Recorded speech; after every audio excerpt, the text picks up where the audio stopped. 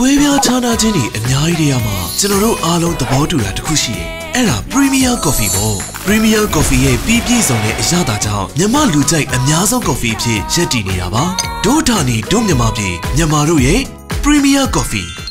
ဒါတလောကတော့ဒီဒုတိယခွေအတွက်ပဲ ပေါ့နော်အဲ့ဒါတခုပဲအာရုံစိုက်ပြီးဒုတိယခွေအတွက်ကိုပဲ run နေရပေါ့နော်ပြီးရပြီးတော့မယ်ဒါပေမဲ့ဟိုဘယ်လိုပြောမလဲဟိုလက်စတက်စရာလေးကြံနေရပေါ့နော်ဆိုတော့ဒီဒီနေ့ထဲမှာပဲအစောဆုံးထွက်နိုင်ဖို့အတွက်ကြိုးစားနေပါတယ်အာဒုတိယခွေမှာလည်းပထမခွေတော့ဆိုခဲ့တဲ့ဒီ pop လေးတွေပြန်ပါမယ်။နောက်ပထမခွေမှာမပါတာဆိုရင်တော့ R&B ပေါ့နော် R&B ပုံစံလေးတွေပါမယ်။နောက်ဆိုနေကြအမျိုးလေးတွေလည်းပြန်ပါမယ်ပေါ့နော်။ဒီဒုတိယခွေလေးကိုလည်းအမပို့ပြီးတော့အားရပါတယ်ဆိုတော့အာထွက်လာရင်တော့ထွက်လာမှာပဲကြည့်ကြပါလို့ နောက်ကြဆုံးကတော့ September ပေါ့နော်အခုကတော့တချို့သချင်းလေးတွေအပ်ထားလေးမရသေးတာလေးရှိသေးတယ်ဆိုတော့အဲ့ဒါလေးစောင့်စောင့်နေသေးလို့ပေါ့နော်ဟုတ်နောက်ကြဆုံးကတော့ September ပေါ့အခုအခုလည်း run or run နေဟုတ်ကျမအခွေလေးတုန်းကလည်းကိုကတခွေလုံးကိုအကောင်းဆုံးပေါ့နော်အကောင်းဆုံး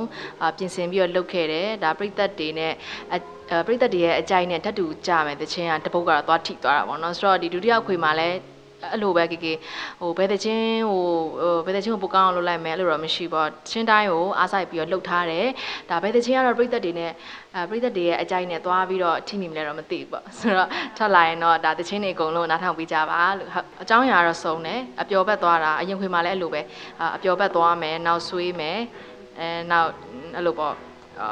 ဘယ်လိုပြောမလဲအမြူးပေါ့နော်တကယ်အမြူးလုံးဝအပျော်ဘက်သွားတဲ့ဟာမျိုးတွေရောရတာဆုံးထည့်ထားပါတယ်ဟုတ်အာဂေဂေရဲ့ဒုတိယ တကူတော့အခွေလေးပေါ့နော်အညံဆုံးထွက်နိုင်ဖို့အတွက်ကိုစူးစမ်းနေပါတယ်လို့ဒါအကြ ాయి စောင့်နေရတဲ့ပြည်သက်တွေကိုလည်းအရန်အားနာပါတယ်လို့ဆိုတော့အညံဆုံးထွက်နိုင်အောင်ကြီးစူးစမ်းပါမယ်ဟုတ်